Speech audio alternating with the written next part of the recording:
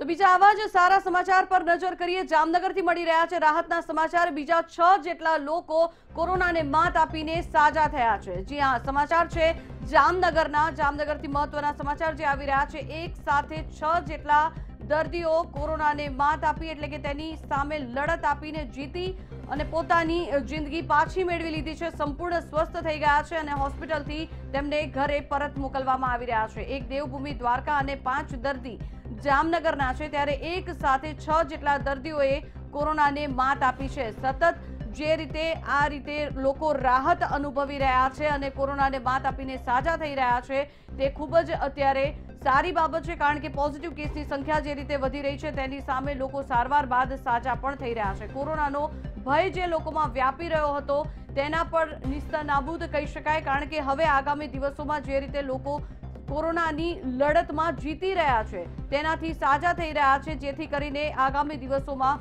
કોરોનાનો વ્યાપ વધુ ન વધે, સંક્રમણનો ભય ન વધે અને સતત જે રીતે પોઝિટિવ કેસના આંક વધી રહ્યા છે, તેમાં પણ નિયંત્રણ લાવી શકાય. સતત લોકોને હજી પણ ખૂબ જ સતર્ક રહેવાની જરૂર છે.